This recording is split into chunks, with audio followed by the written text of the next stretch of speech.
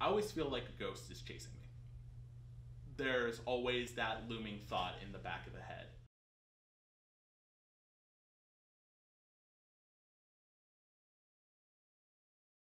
My name is Tyler Oswald. Growing up, I wouldn't say I was in an isolated environment, but I kind of my room was my sanctuary. Like that it was the one place I felt safest whenever, no matter how bad I was feeling, you know. The moment my door was shut, I knew that I was in an okay place. I was driving home from work and I was stopped at a red light and just out of nowhere the thought came into my mind, what would happen if I hit on the gas and went into the middle of this intersection? and it, it, didn't come anywhere like it, sadly enough it was genuine curiosity like would i live wouldn't i and i, feel that's kind of where it started.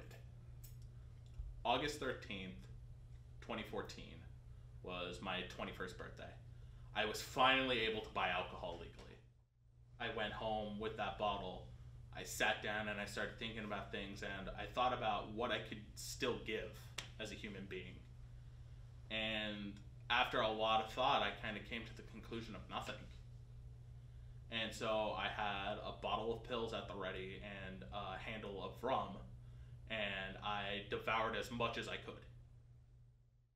I woke up the next morning. I went out into the kitchen, and it was just another day. Nobody knew what had happened except me. Thinking probably the worst thought you could have afterwards is, well, I'm such a failure in life, I couldn't even kill myself correctly.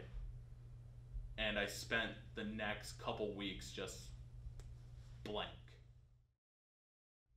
I do not regret what I did, but I am thankful that it didn't succeed.